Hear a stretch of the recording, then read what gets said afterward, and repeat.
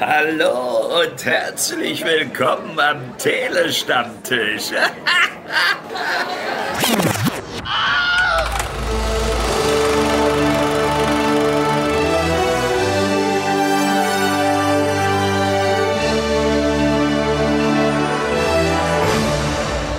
Ole Ole beim Telestammtisch. Willkommen bei unserer Besprechung zu Wochenendrebellen, den neuen Film mit Florian David Fitz. Ich bin's du und heute an meiner Fankurve die Lieder. Hallo Lieder. Ole. Ole. Lieder. Ich glaube, wir müssen ehrlicherweise unseren Zuhörerschaft draußen sagen, dass wir beide jetzt nicht die größten Fußballfans sind, oder? Kann man nicht behaupten. Okay, gut, dann äh, ja, tut's mir leid. Wir reden über Wochenendrebellen, wie gesagt, ein Film, der auf einer wahren Begebenheit basiert, von einem Regisseur, der in den letzten Jahren sich, glaube ich, zur Aufgabe gemacht hat, jede wahre Begebenheit in Deutschland irgendwie auf Film zu bannen, nämlich Marc Rotemund. Lida, kannst du uns eben kurz sagen, worum es in Wochenendrebellen geht? Ja, wir haben hier Florian David Fitz als Vater eines Jungen, der ist etwa zehn Jahre alt, heißt Jason und äh, ist im autistischen äh, Spektrum. Der Film benutzt noch den Begriff Asperger-Syndrom, der inzwischen nicht mehr verwendet wird, aus guten Gründen, die wir euch nachher noch etwas genauer erklären können.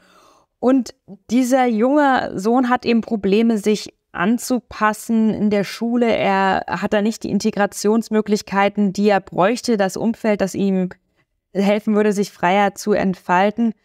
Und äh, so kommt es dann, dass sein Vater und er eine Art Deal machen, in dem es eben so sein soll, dass sie zu Fußball, dass der so ein Lieblingsfußballteam finden muss, um sich dadurch hoffentlich besser integrieren zu können in seine Klassengemeinschaft.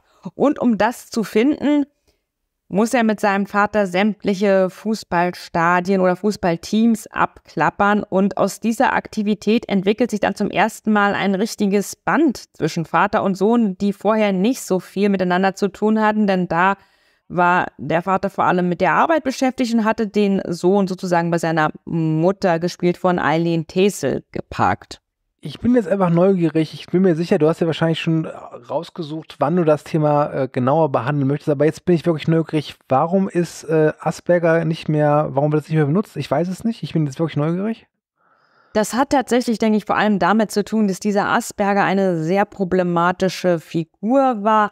Tatsächlich war er direkt darin involviert. Äh, also, oder holen wir etwas weiter aus. Also, Asperger hat diesen hat mit Kindern geforscht, das war nah an der NS-Zeit und er hat mm. in diesen Begriff okay. eigentlich kreiert, um Kinder, die gar nicht unbedingt neurountypisch waren, also die vielleicht sich nicht ganz so gut in ein, das muss man jetzt wirklich konkret sagen, in ein faschistisches, nationalsozialistisches Gesellschaftsideal vom Menschen einfügen ließen. Und ich denke, man muss nicht irgendwie mentale oder psychologische Herausforderungen haben, sondern es reicht einfach schon ein ganz normaler Mensch zu sein, um nicht in das nationalsozialistische Ideal eines Menschen zu passen, um diese Kinder trotzdem aussortieren zu können. Und ein beachtlicher Teil von Kindern, mit denen Asperger geforscht hat, sind auch aufgrund seiner Diagnosen dann eliminiert worden. Ah, Asperger war kein netter Mensch und das ist auch ein Aspekt den man immer im Kopf haben muss, dass bestimmte Diagnosen oder sogenannte Diagnosen, die gängig sind oder in diesem schrecklichen DCM-Manual stehen, nicht zeitgemäß sind und unter Umständen gemacht wurden, wo man sich wirklich fragen muss, was ist das Ziel dieser Diagnose? Gut, danke. Das wusste ich noch gar nicht. Jetzt aber zur Wochenendrebellen und jetzt wird es, glaube ich, zumindest für mich uninteressant. Ich ähm, habe ihn heute ganz frisch gesehen. Bei dir ist die Sichtung ein bisschen länger her, oder? Genau, die Pressevorführung, die allererste, war schon vor einigen Wochen, aber er ist mir noch ganz gut im Gedächtnis.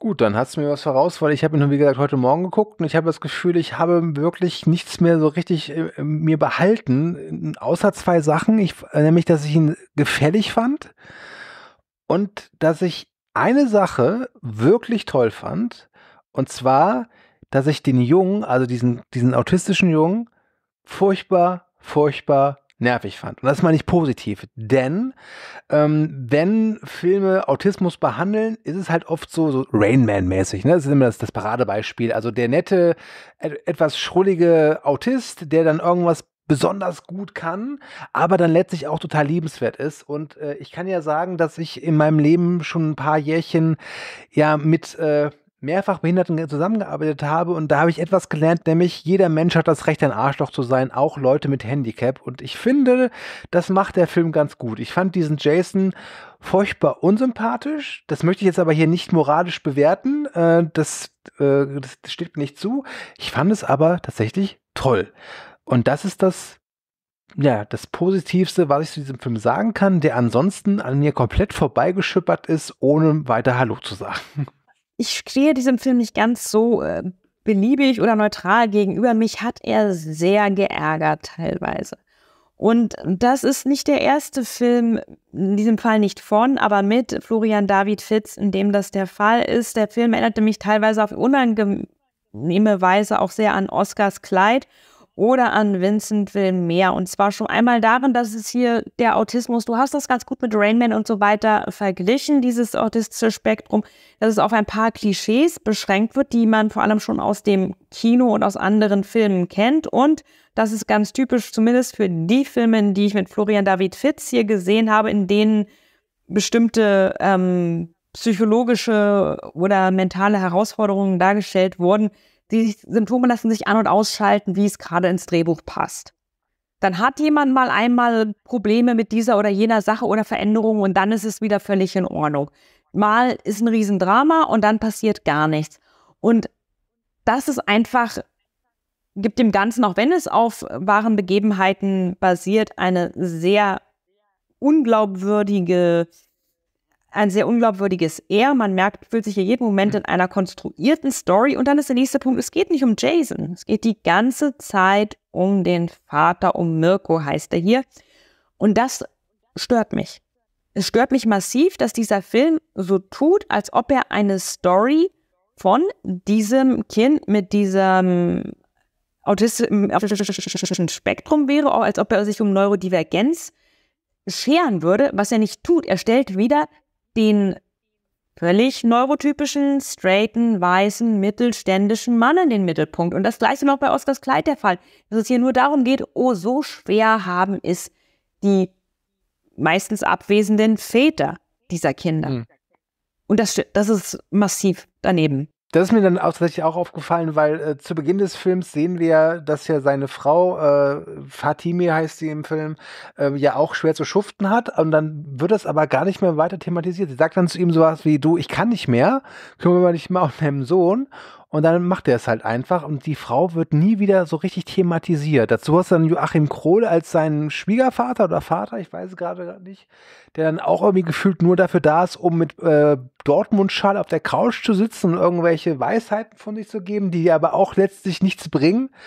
Es ist schon sehr, ja, also ich möchte das Wort mal nennen, gefällig. Es ist schon so ein, so ein, so ein, so ein Art von Film, der soll man reingehen und soll dann so ein bisschen, so ein bisschen Mitleid haben mit den Leuten, aber auch dann so wieder mitfiebern und dann mit diesem Gefühl auch aus dem Film kommen, so, ja, das ist ja, das ist mein richtiger Vater. Es ist nicht alles gut gewesen, aber er hat sich Mühe gegeben und es ist schön. Also so eine Wohlfühlgeschichte und das hat für mich auch nicht funktioniert. Zum einen, da muss ich ehrlich sein, einfach weil die Thematik nicht meins ist, weil Fußball ist halt einfach uninteressant für mich, hoch 10. Ähm, aber man hätte es ja auch anders erzählen können, also dass der Fußball gar nicht so sehr im Fokus steht, aber ich, da gebe ich dir auch recht. Letztlich ist es ein Film, wo wir sehen, wie Florian David Fitz durch äh, Europa reist oder durch Deutschland reist und äh, immer dann, wenn es benötigt wird, bekommt der Junge dann immer sein, sein, sein ich nenne es mal ganz äh, politisch unkorrekt, Anfälle. Und dann muss äh, Florian David Fitz das irgendwie lösen. Ob es jetzt in der Toilette ist oder im Zug, weil die Nudeln irgendwie die falsche Soße abbekommen haben. Das alles ist, das, das eskalierte halt immer. Also zu unserer Belustigung und aber auch, damit wir sehen können, dass der Flori das dann eben doch noch schaukelt und vor allem, dass der Flori halt auch nur ein Mensch ist. Und das ist schon relativ relativ abgeschmackt, das stimmt schon, ja. Ja, und dann hat der Film auch sehr unangenehme patriarchalische, man kann es gar nicht Untertöne nennen, man müsste es eigentlich Übertöne nennen. Zum einen wird eben die Care-Arbeit, die die Mutter hier jahrelang leistet, vollkommen entwertet und einmal ein bisschen am Wochenende so mit dem Papa abhängen, bringt dem Kind tausendmal mehr als all das, was die Mutter die ganze Zeit noch während dieser Sache und davor geleistet hat. Diese Suggestion, dass zwischen Vater und Sohn immer dieses ganz besondere Band da sei und Mama hat ihn viel zu sehr verhätschelt und das ist tatsächlich, denke ich, eine fast schon toxische Message, die dieser Film hier sendet, ähm, oder eine, die zu Schaden führen kann, dass das Kind quasi nur in so einer Art Konfrontationstherapie in Situationen gebracht werden müsste, in denen es eskaliert und dass es dann dadurch aber abgehärtet wird und das dann irgendwann sogar richtig genießen kann. Und um Gottes Willen, das sollte man aber bei Leuten, die egal ob sie traumatisiert sind oder Phobien haben oder eben im neurodivergenten Spektrum irgendwo sind, auf gar keinen Fall machen. Diese Leute mhm. Triggern aussetzen, so nach dem Motto, reiß dich mal zusammen. Denn gerade das ist eben dieses Problem. Man kann sich nicht zusammenreißen. Es geht da eben wirklich um eine bestimmte, ähm, ja, äh, psychologische, neurologische Störung. Und das hat nichts mit irgendwie verweichlicht sein oder dergleichen zu tun. Natürlich gibt es da auch Möglichkeiten, Situationen durch Bewältigungsmaßnahmen und dergleichen besser zu überstehen. Aber einfach sowas wie jetzt halt es aus, oh, du willst nicht auf gar keinen Fall berührt werden. Jetzt schubsen wir dich hier in die rappelvolle Fankurve äh, im Fußballstadion, was ja ein extremer Kontrast ist. Hm. Und dann klappt es auf einmal. Und das, da merkt man eindeutig, dass man sieht, okay, nee, so kann das nicht gewesen sein oder da fehlt irgendwas und das fühlt sich unglaubwürdig und unreal und auch wirklich nicht so an, als ob die Leute sich intensiv mit dieser Thematik und den Messages, den sie senden, auseinandergesetzt hätten. Das ist ein guter Punkt, den du angesprochen hast, weil das ging mir auch so. Ich weiß halt, es beruht auf einer wahren Geschichte. Ähm, bei mir in der Vorstellung war auch eine Journalistin äh, zu Gast, äh, die die Familie wohl auch persönlich mal getroffen hat. Ich glaube, die haben da auch ein Buch geschrieben mit ihren äh, ähm, Erlebnissen, die sie da gesammelt haben. Und das ist ja wirklich, also die, die haben diese Reisen ja wirklich erlebt. Ähm, aber ich hatte nie das Gefühl bei diesem Film, dass es eine wahre Geschichte ist. Ich weiß auch nicht, es wurde mir so erzählt, so, dass es, es kam mir nie der Gedanke, dass das wahr sein und dass das auf einer warmen Geschichte basiert ist. Das basiert ist, glaube ich, besser als, äh, ja hat nicht funktioniert bei mir. Es, äh, wenn es am Ende nicht halt diese obligatorischen Bilder gegeben hätte von den echten Mirko und dem echten Jason, dann hätte ich mir mal gut, da hat sich ein Drehbuchautor halt irgendwas ausgedacht und äh, die Geschichte klang auf dem Papier dann vielleicht besser wie letztlich als finaler Film. Aber das ist, ich weiß nicht, dieses, dieses authentisch hat mir gefehlt. Das war halt für mich auch wirklich nichts Authentisches. Und ich war noch nie im Stadion, deswegen kann ja sein, dass es da wirklich so abgeht, keine Ahnung aber gerade halt vor allem wie die Familie gezeigt wird, wie auch sein Job gezeigt wird, ähm, wie diese Eskalationen dargestellt werden, das hat für mich einfach nicht funktioniert. Das, ich, das ja, hat's nicht. Punkt. Man muss hier auch ansprechen, dass dieses Milieu der Fußballfans ja ein sehr spezifisches ist. Es ist eine Szene, die immer wieder mit Rassismus, mit Nationalismus, mit Queerphobie und auch Chauvinismus kämpft, sage ich mal. Natürlich sind nicht alle Fußballfans so, aber es gibt diese Probleme, die immer wieder mhm. massiv hochkochen. Es ist doch ein oft sehr martialisch, aggressives Milieu. Da ist viel toxische Männlichkeit, die da am Brodeln ist. Und dass gerade dieses Milieu ganz spezifisch zum Kon im Kontrast zum häuslich fürsorglichen Umgang mit der Mutter präsentiert wird und als positiv und heilend dargestellt wird, sendet hier eben auch ein sehr fragwürdiges Bild von Gendernormen und Männlichkeit, also das nochmal diesen Faktor, dass der Junge muss nur gewählt werden, verstärkt, aber auch, dass diese problematischen Aspekte der Fußballszene niemals irgendwie gezeigt werden. Wir, wir, wir sehen das nicht und das ist einfach nur eine heile Welt, wo man selbst dem scheinbar trunkenen Raudi nur sagen muss, oh bitte, äh, könnte ich hier ein bisschen mehr Raum haben? Aber natürlich. Also dass da gar nicht mehr passiert. Und das einzige Mal, ich will jetzt nicht alles vorwegnehmen, aber das einzige Mal, als es dann wirklich mal knallt, da sind das, oh, da sind es Russen. Ne? Da sind das keine deutschen Fußballfans, sondern das fällt natürlich auch auf, dass es denn gerade in dieser Szene Fremdländer sind. Ne? Ja. Eine Sache übrigens, das hat mir ein Kollege nach der Vorstellung gesagt, äh, der den Film sehr mochte, aber sagte, eine Sache ist komplett, das ist so unrealistisch, das ist so unglaubwürdig. Nämlich der Jason hat ja so eine Liste, die halt befolgt werden muss. Ne? Er sagt ja ganz klar, Vereine, die Nazis haben, viel Glück dabei, die, die wird er nicht nehmen. Und vor allem die Toiletten müssen sauber sein. Und er sagt dann irgendwann, weil das Borussia Dortmund hat saubere Toiletten. Und mir wurde jetzt gesagt, das ist dem nicht so. Also unrealistisch unrealistisch, Minuspunkt für Wochenendrebellen. So, ihr habt es zuerst gehört vom Telestammtisch. Ich möchte noch kurz über den Regisseur reden, wenn es äh, dir recht ist, nämlich Marc Rotemund. Der hat ja seine Karriere angefangen so mit, ich glaube, in den späten 90ern mit so Sachen wie das merkwürdige Verhalten geschlechtsreifer Großstädter zur Paarungszeit. Oscar für diesen Titel. Und hat jetzt in den letzten Jahren wirklich so, ich möchte fast schon sagen, so seine Nische gefunden, indem er so, ja, wahre Geschichten verfilmt. Er hat gemacht seinen Sophie Scholl-Film klammer ich mal aus. Ich glaube, der war auch Oscar nominiert. Er hat gemacht Heute bin ich blond. Er hat gemacht Mein Blind Date mit dem Leben und er hat gemacht Dieses bescheuerte Herz. Und jetzt halt eben Wochenendrebellen. Und ich habe das Gefühl, das ist so seine, seine Nische, da fühlt er sich wohl. Aber ich würde ihm empfehlen, vielleicht doch mal was anderes zu probieren. Oder siehst du das anders? Nee, das empfehle ich ihm auch. Bitte nicht noch mehr davon. Diese Verzweiflung in der Stimme ist ja toll gerade. Ich sehe gerade, wie du vor deinem Mikrofon stehst und die weiße Flagge hieß. Ja, ja, also das ist wirklich, ähm, nee, also und bitte nicht nochmal mit Florian, also auch, das möchte ich eigentlich auch Florian David Fitz sagen, bitte nicht weiter den Vater von irgendwelchen Kids spielen, äh, die es schwerer im Leben haben, aber dann so tun, als ob kein Kind äh, mit was weiß ich für Herausforderungen es je so schwer haben kann, wie der völlig privilegierte Vater dieses Kindes. Bitte ja. nicht nochmal. Aber das ist, das finde ich ganz interessant, weil du hast im Laufe der äh, Besprechung, glaube ich, auch immer wieder gesagt oder meist wahrgenommen zu haben, äh, dass so, dass es so wirkt, dass es ein Film von Florian David Fitz ist. Aber es ist es ja nicht. Es wirkt wirklich so, ja.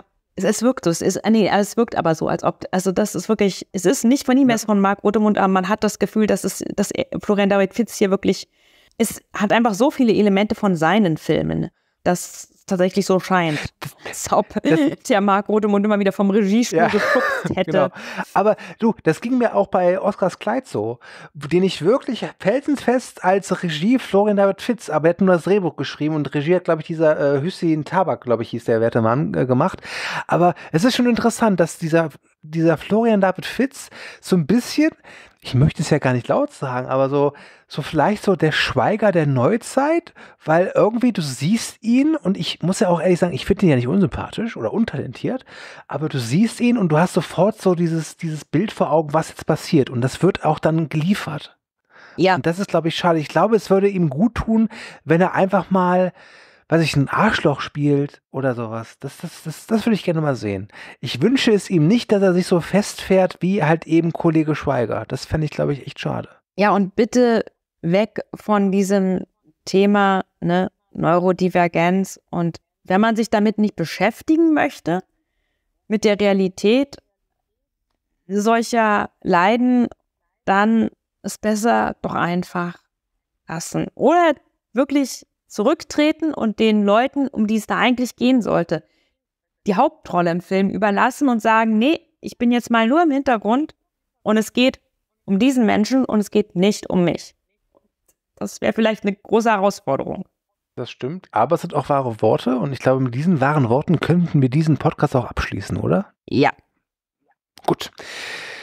Ich glaube, ein Fazit brauchen wir auch nicht zu fällen. Wir beide sind keine Fans. Das haben wir jetzt in knapp acht Minuten, glaube ich, gut ausgearbeitet. Wenn ihr euch den Film angucken wollt, dann bitte. Äh, Hauptsache Kino ist meine Devise. Wenn ihr uns folgen wollt, dann könnt ihr das gerne tun, denn den Titelstammtisch gibt es überall, wo es Likes gibt. Ich danke euch fürs Zuhören. Ich wünsche euch viel Spaß im Kino oder im Stadion. Ole, ole, sage ich noch eins.